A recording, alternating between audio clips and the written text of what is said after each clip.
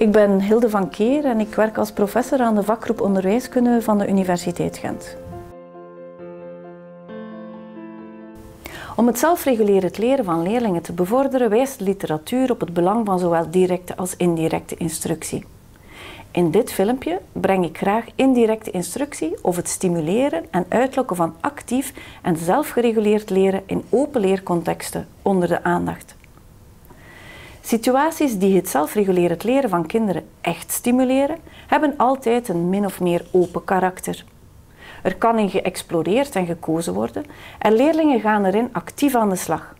In vaktermen noemt men een dergelijke leercontext ook een krachtige leeromgeving. Onder indirecte instructie verstaan we het creëren van zo'n krachtige leeromgeving. Een context waarin zelfregulerend leergedrag van leerlingen als vanzelf wordt uitgelokt. Het is een leeromgeving waarin open en uitdagende opdrachten worden aangeboden, zelfstandig werken en keuze centraal staat, er wordt ingespeeld op de interesses van de leerlingen en strategiegebruik, zoals plannen, reflecteren, evalueren, wordt uitgelokt.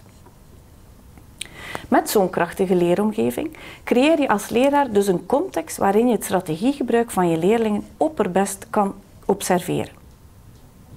In de kleuterklas kan je zo'n open en krachtige leeromgeving creëren door de leeromgeving stap voor stap te verrijken met uitdagend materiaal, bijvoorbeeld in de hoeken. Door met de leerlingen te onderhandelen bij keuzemomenten of door ze de kans te geven om zichzelf een probleem te stellen en daarvoor een oplossing te zoeken, onder andere bij vrij spel of projectwerk. Of wat dacht je van planningsborden en het gebruik van stappenplannen of opdrachtendozen? Maar naast het kleuteronderwijs zijn er ook in het lager en het secundair onderwijs talrijke kansen voor het creëren van krachtige leeromgevingen. Onder meer door middel van contract- en projectwerk.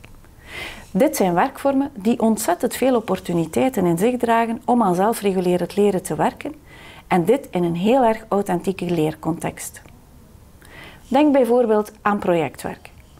Het opstarten van een project vraagt inherent het vooropstellen van leerdoelen met de klas of leerlingengroep, maar ook het opstellen van concrete onderzoeksvragen en van een planning.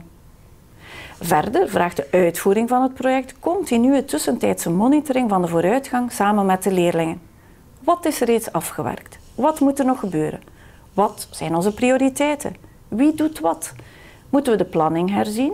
Iets helemaal of gedeeltelijk herdenken? Of over een andere boeg gooien. En tussentijd, of na afloop, staat evaluatie centraal. Hebben we alles kunnen doen en rondkrijgen? Wat gaan we volgende keer anders aanpakken? Heeft iedereen zijn of haar taken volbracht en dit naar behoren? Waar zijn we tevreden over? Sluit het resultaat aan bij de vooropgestelde leerdoelen en onderzoeksvragen? Het leren in krachtige leeromgevingen volgt best nadat je als leraar directe instructie hebt voorzien. Uitdagende en open opdrachten functioneren tenslotte als een krachtig middel om de geleerde strategieën toe te passen in een nieuwe context.